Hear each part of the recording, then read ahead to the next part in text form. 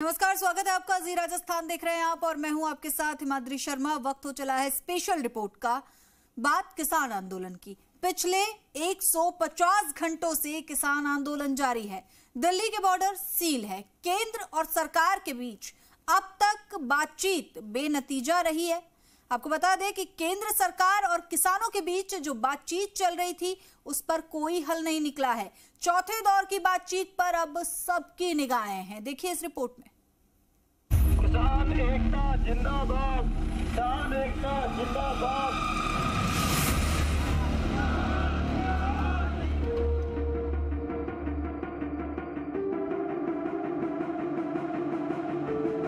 किसान आंदोलन को छह दिन हो रहे हैं शंभू बॉर्डर पर। प्रदर्शनकारी किसान अपनी मांगों को मनवाने के लिए अब भी डटे हुए हैं।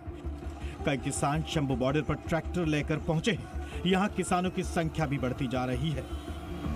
दिल्ली पूछ के लिए निकले किसान आज की बैठक पूरी होने का इंतज़ार कर रहे हैं। साफ़ है, आज की बैठक बेहद अहम है। किसान नेताओं और केंद्रीय मंत्रियों के बीच में आज चौथे दौर की बैठक होने जा रही है। इससे पहले तीन बैठकें हुई जो कि बेनतीजा रही। लेकिन इस बार माना जा रहा है कि बैठक सकारात्मक तरह से की जाएगी। दोनों पक्ष एक दूसरे को समझेंगे और फिर नतीजा आएगा। पिछली बार बैठक जो है तीसरे दौर की, वो डेढ़ बजे रात तक चली, लेकिन कोई नतीजा नहीं आया। लेकिन इस बार उम्मीद की जा रही है कि कोई नतीजा आएगा, क्योंकि आम जनता भी काफ़ी परेशान है। किसान भी छः दिनों से आंदोलन कर रहे हैं और पंजाब हरियाणा के बॉर्डर पर बैठे हुए हैं। आपको बता दें कि बातचीत का पेच फंसा कहाँ है। दरअसल किसान एमएसपी गारंटी कानून, कर्ज माफ़ी और पेंशन की मांग को लेकर मुख्यतः अड़े हुए हैं। लुधियाना में संयुक्त किसान मोर्चा की बैठक हो रही है, लेकिन प्रधानमंत्री नरेंद्र मोदी किसानों को साफ़ संदेश दे रहे हैं कि उन्हें सशक्त बनाने के सभी प्रयास किए जा रहे हैं। हमारे किसान इतने सशक्त हो जाएँगे कि वो देश के पैसों की बचत कर सके। बीते कुछ वर्षों में दलहन तिलहन और श्री अन्न के लिए विशेष नीतियाँ बनाई है जिससे छोटे छोटे किसानों को मदद हो रही है। आपको बता दें कि पहली बैठक 8 फरवरी 2024 बेनतीजा रही। दूसरी बैठक 12 फरवरी 2024 भी बेनतीजा रही। और तीसरी 15 फरवरी 2024 को हुई बैठक भी बेनतीजा रही।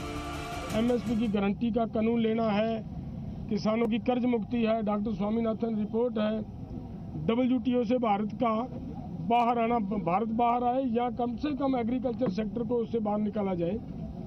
और आगे जो लैंड एक्विजिशन एक्ट 2013 का जो पहले से बना हुआ हमारी डिमांड है कि उसी को लागू रखा जाए।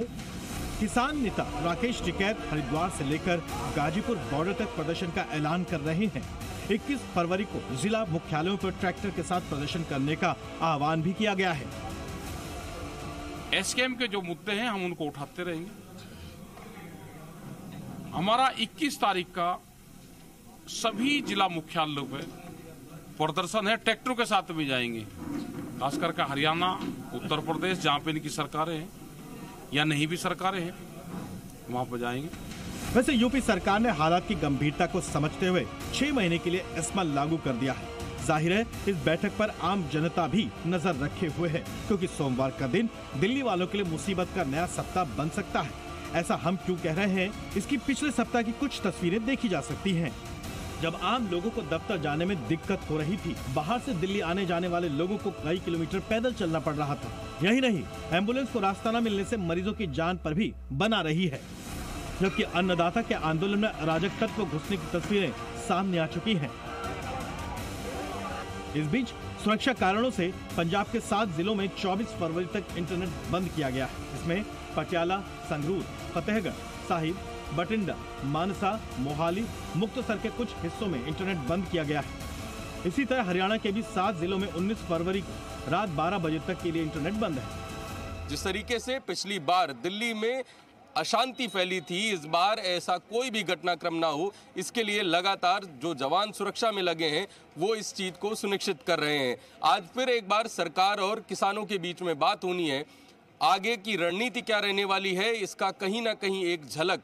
कल मुजफ्फरनगर में हुई महापंचायत में देखने को मिला।